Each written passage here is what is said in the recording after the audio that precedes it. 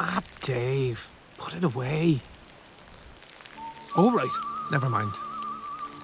Two hands. Mm.